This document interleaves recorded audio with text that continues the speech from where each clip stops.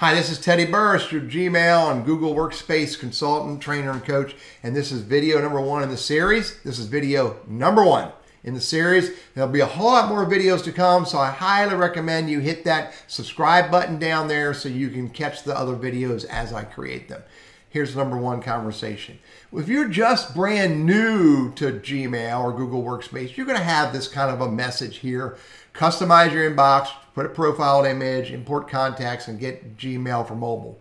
Uh, by the way, I don't use Gmail for mobile. I have it on my iPhone, but I actually set my iPhone up so that my Gmail uh, email goes directly into my iPhone messaging. It's way easier, and I'll show that to you soon.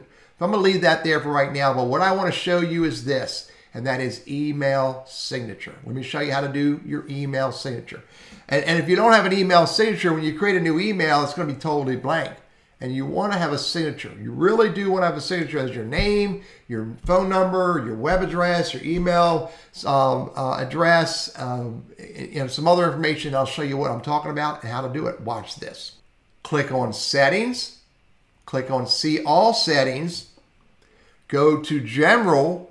And by the way, you're going to want to look through this and make some adjustments so it works the way you want it to work.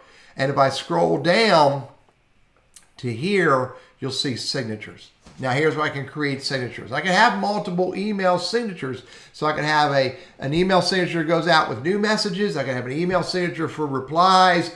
I could create other email signatures that I use for different types of times of the year, et cetera, et cetera. But for me, one email signature will work very well. Create a new one, give it a name. I'm gonna just simply call it default, hit create. Here it is right here, and it's totally blank. Now here's what I recommend you put. By the way, I put an extra line, or maybe two. It's okay. And then I put my name. I put my title.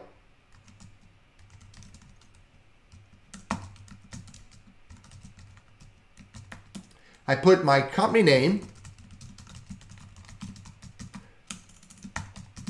My phone number. Then I repeat my email address. And the reason why I do that is if someone forwards my email to someone else, I know they're going to get my email signature. So I put my email signature in there, or excuse me, my email address.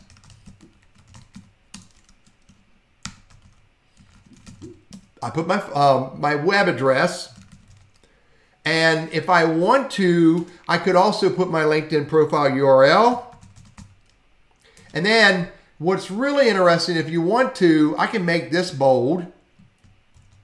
I can make this a hyperlink, highlight that, make it a hyperlink, just hit Control K, it'll make it a hyperlink by default.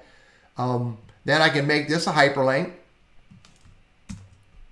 And I can make this hyperlink. All I'm doing is hitting Control K. I could just as easily hit that button, but I'm hitting Control, or excuse me, or Command K. And those are hyperlinks. Now, what I want to do next is choose where to use it. I want to use my signature for new emails and I want to use it for replies and forwards. So it's going to put this email signature on the bottom of every message I create and every reply or forward I do. One more step is make sure you you check this insert a signature before the quoted text, which means before if it's a reply, and get rid of that space. It used to have a double dash space. Now when I hit save, now when I hit a new message, remember I told you I put a couple extra lines in there, otherwise it would just had one line. And there's my email signature, name, my title, company, phone number, email address, web address, and my LinkedIn profile URL. Okay? So this will go out with every message that I send and every reply or response that I do for messages that come into me.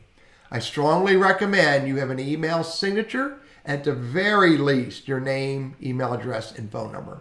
But if you're using it for business, give them a little bit more information so they know a little bit more about you as you're engaging with them.